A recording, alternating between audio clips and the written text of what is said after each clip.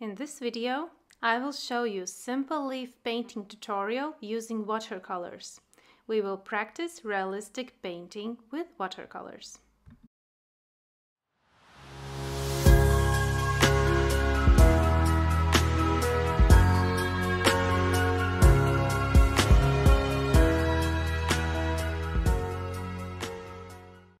An outline drawing is done which is available for download and the excess amount of graphite is removed with elastic eraser. Now we can start mixing watercolors. Adding water to color palette. First mix sap green. This will be a darker mix for the shadow areas. Ultramarine blue.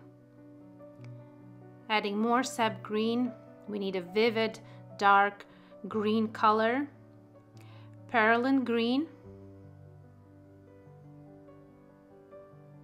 and a little bit more of sap green. For the second, I'm placing ultramarine blue and this will be for the lightest parts. Just clean ultramarine blue, very small amount. And the third one, sap green with lemon yellow. A little amount of ultramarine blue. Now I will show you on one leaf example how to paint this beautiful composition, adding water to the surface just enough for watercolors to be moved. I'm not adding too much water, nothing is dripping or flowing away from the paper, just enough for the paper to be moist. Looking at reference and starting from the darkest area. I'm taking a small amount of darker pigment, which is sap green, ultramarine blue, and perylene green, using fine tip brush.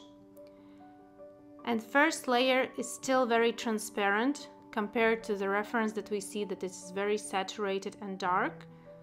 Still the first layers are very light. I'm applying watercolor starting from the shadow area and spreading while the surface is wet towards the lightest parts. In the beginning, it is important to keep light areas bigger, wider than they appear in the reference. After a few layers, that area will become smaller and smaller and finally till the end it will reach the required size. But it is important to keep the light light. In this composition with these leaves, this is very important to have this contrast between light and dark. This is the main here, what catches viewer attention and gives a realistic look as well as curved view of these leaves.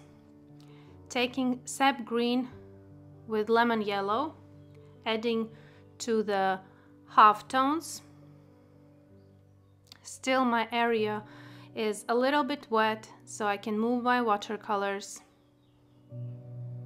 Painting with the very tip of the brush carefully with the edges. So I'm not going out of the edges and as you can see my lightest part is very wide compared to the reference and it's better that it stays that way. I can add a little bit more darkness to the shadow area but still the first layer we need to keep light. We can always make darker. It is harder with watercolor something to make lighter. I'm not using any white color, any white pigment. My white is paper. Nothing can be more lighter than the paper in watercolors. So we are reserving light area in the very beginning. The same approach, the same technique is done for the rest of the leaves. I am painting each leaf separately, looking constantly at the reference, comparing where are lights, where are darks. Each leaf has different area of light and different area of shadow because leaves are curved and light source is coming from one direction and it's hitting the surface of the leaves differently just because the leaves are placed differently towards the light. Here on the other leaf example, I am showing you the same approach as I did for the first leaf.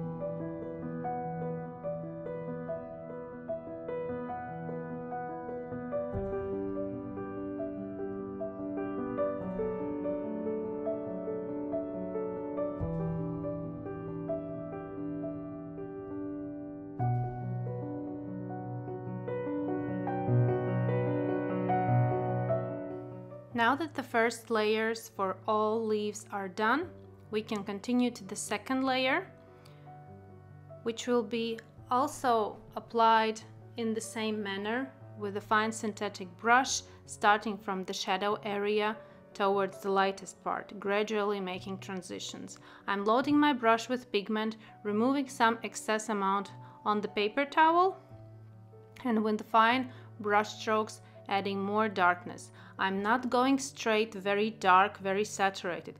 It will only leave painting looking flat. We are painting transparently, lightly, but with many layers. This will allow our painting to look realistic. It will allow all the light source shine through all watercolor layers. Watercolor is a transparent medium which is putting through light. But if we are painting very saturated with very dark color mixes, that way we are blocking the light to shine through all those layers. Even if I apply transparently 10, 20 layers, all layers will be visible when the light is shining. So it's important to paint transparently, lightly, with many layers. That way you will get more realistic, more beautiful result.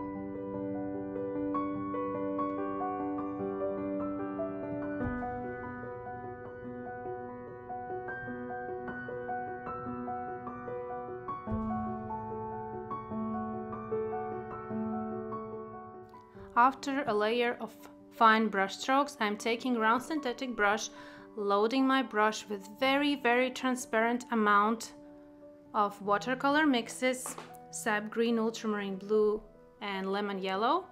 And I make a very, very transparent glaze over dry surface. This, it's important that the surface is completely dry and this glazing is very light. So I'm keeping the lightest part light, but I'm slightly smoothing the layer underneath. I'm not completely smoothing fine brush strokes. I'm carefully sinking them in into the paper, leaving some brush strokes visible, some are more smoother. And the light is light. I did the same for the other leaves as well.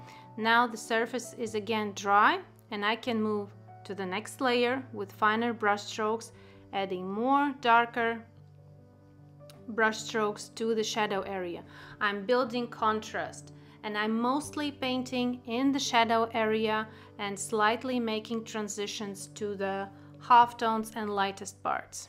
I'm not touching at this stage light area. It's better to keep it light for as long as possible. We can always go darker. That's not a problem.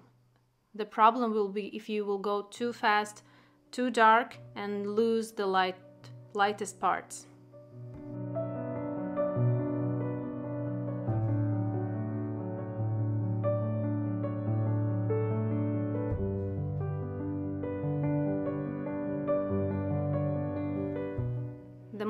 Look in the reference, the more I start to notice some details. For example, this leaf on the right side has a very, very thin, dark edge line.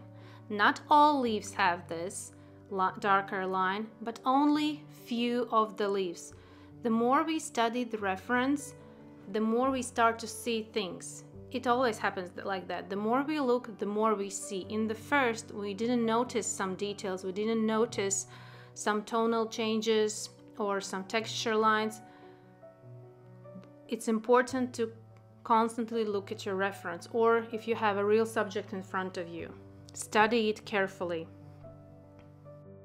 Here I'm with a finer tip brush, I'm smoothing the inner part of that fine line to make a smooth transitions towards the, uh, the leaf part.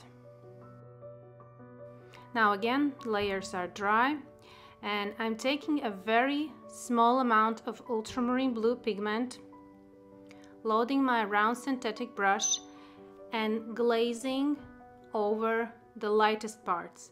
I'm adding cooler color tone to the lightest parts because light is cool and shadow is warm. Very light amount, very transparent amount of ultramarine blue. Don't overwork here with very saturated color mix.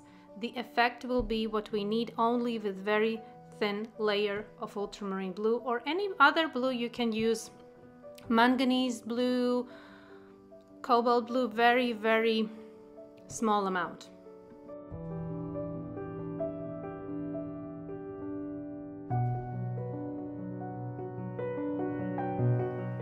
Now I'm adding lemon yellow and sap green to my darker color mix which is left on a color palette and a little bit of perylene green. I will add this very warm color mix to the shadow area because I feel that I need a little bit of warmth in the shadow. We are building contrast as well with the color temperatures. The light is cool and the shadow is warm.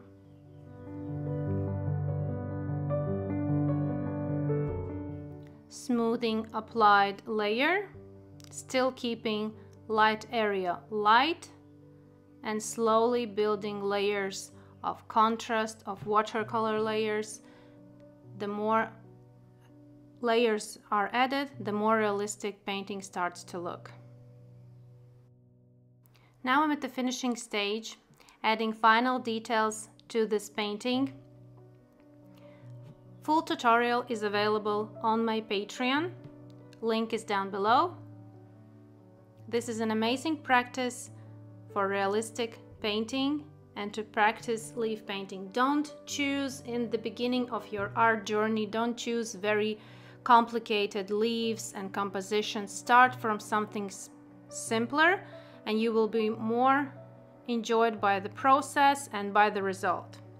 Thank you for being here. Thank you for watching my tutorials. Hope you learned something new and see you in my next videos. Thank you. Bye bye.